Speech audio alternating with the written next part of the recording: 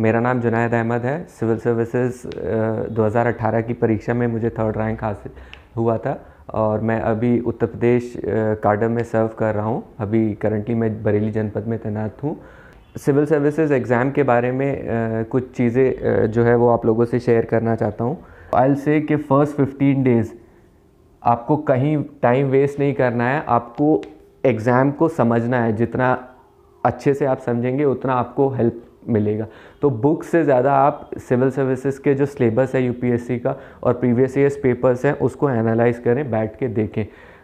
Syllabus तो in fact by heart कर सकते हैं आप। मेंस का और प्रीलिम्स का सिलेबस आप देखें।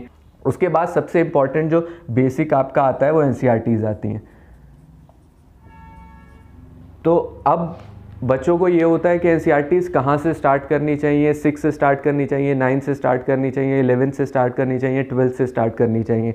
तो मेरा मानना है आई एल सजेस्ट के जो आप ग्रेजुएशन जब आप करके आ रहे हो तो बेसिक अंडरस्टैंडिंग आपको चीज़ों की होती है। तो आई एल से कि अगर आप नाइन्थ से भी स्टार्ट करेंगे एन तो सफिशेंट हो जाता है। और आपको ऐसा नहीं है कि सारे सब्जेक्ट्स की एन पढ़नी है।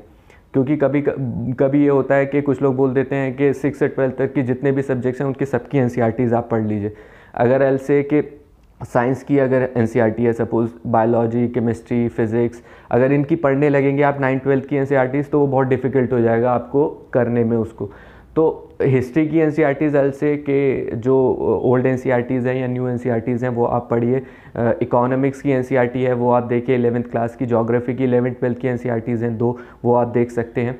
इसी तरीके से मेन में कॉन्स्टिट्यूशन जो पॉलिटी है इंडियन कॉन्स्टिट्यूशन नेटवर्क वो इलेवेंथ क्लास की एक बुक है, वो आप देख सकते हैं। तो जो ये जो बेसिक एन हैं, वो आप पढ़िए और वो भी डिपेंड करता है कि आपका लेवल कहाँ पे है। अगर आपको लगता है कि इलेवन ट्वेल्थ की या नाइन्थ की एन करके आपको काफ़ी हो जा रहा है तो आप वो भी कर सकते हैं। और आपको लगता है किसी किसी को जोग्राफी में प्रॉब्लम होती है तो वो सिक्स से एन स्टार्ट करता है। तो वहाँ से भी स्टार्ट की जा सकती है। वो तो आपको डिसाइड करना है कि आपको किस उस पर आपको रखना है अपना।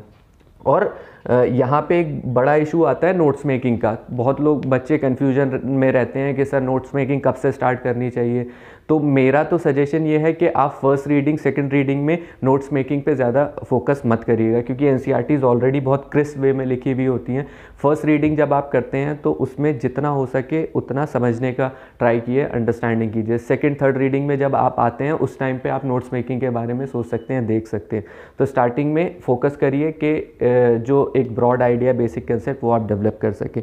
तो N C R Ts ninth से ट्वेल्थ तक की आई सजेस्ट और ये जो है एटलीस्ट इन तीन महीने में दो रीडिंग आपकी हो जानी चाहिए इसकी एन की।